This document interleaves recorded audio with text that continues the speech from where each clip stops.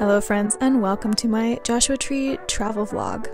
Jumping right into the beauty of the desert of Joshua Tree National Park. I spent most of this trip filming content, so here's some behind the scenes of me setting up for some of my yoga content. It was a little tricky having to balance everything on these boulders.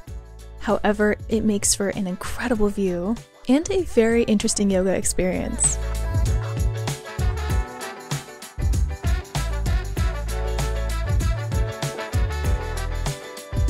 I love hearing the crunch crunch under my sandals as I walk on this dry ground.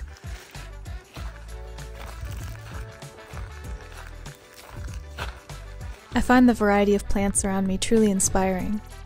There were these really interesting, quite large black and yellow caterpillars that turn into lovely butterflies. Most of them were caterpillars at the time that I was here, and there were many of them, so I had to be careful to watch underfoot so I didn't step on any.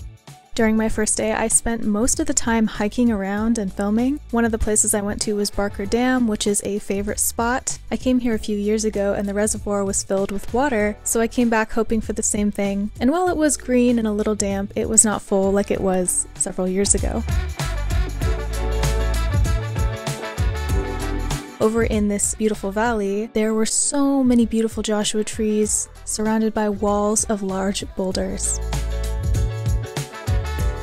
This was definitely a favorite moment because I only ran into about two people, so I felt like I had the whole area to myself.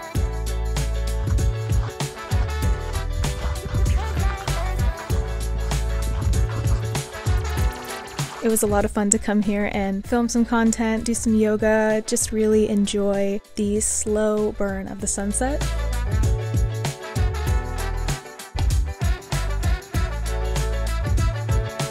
That was my first day. And the next day I came here feeling a bit more energized because I hadn't just driven a super long way.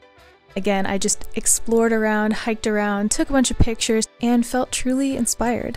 Because I was here on a solo trip, I spent a lot of time really finding myself and really asking myself a lot of questions like what's important to me and who am I, and really just getting to the bottom of embracing who I am and accepting my self worth. So I feel like I say this to a lot of people in my real life, but I don't really say it online as much. And I just want to remind everyone that you need to love yourself first. You have to love yourself first. And this isn't like just some empty words, like this is something I really live by. The reason is people will come and go, money will come and go, jobs will come and go, friends will come and go, experiences will come and go. Everything comes and goes, and nothing lasts. And I don't say that to be bleak. I say that to have remembrance, to be grateful for everything you are experiencing and everything you're going through. No one can love you the way you love you. You're stuck with you for the rest of your life, so love it.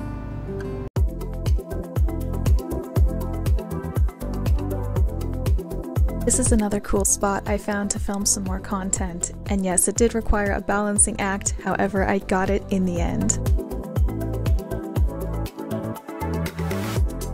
Found so many cute little cactuses everywhere I went, and each of them looked incredibly unique and different. That's definitely one of the wonders of the desert.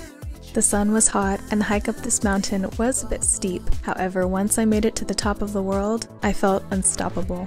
It was truly a peaceful and worthwhile experience. One of my favorite areas of Joshua Tree is pretty south of the park, and it's the Cholla Cactus Garden. These cacti look almost fuzzy, but I definitely wouldn't give them a hug if I were you.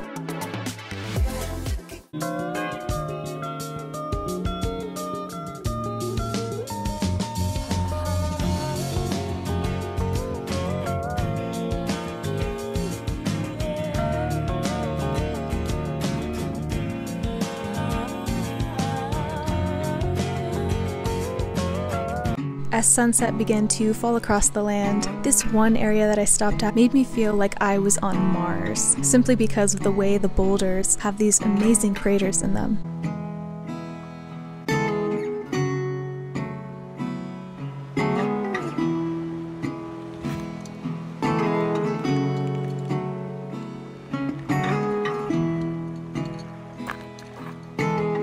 Hey friends, so I have taken a solo road trip to Joshua Tree. This is actually my last day here and I just wanted to do like, like a little check-in I guess. As you can see, I've been filming some content I'm very happy with what I've created because it's so peaceful here and it just really allows me to tune into myself and to just clear my mind. Here's a car coming.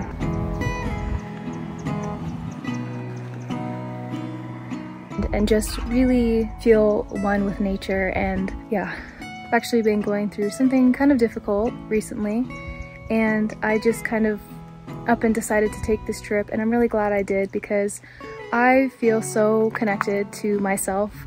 I feel so re-energized and reminded of who I am. And I'm just really, really thankful that I even had this opportunity line up so perfectly. So I just wanted to share like some of this beautiful sunset with you.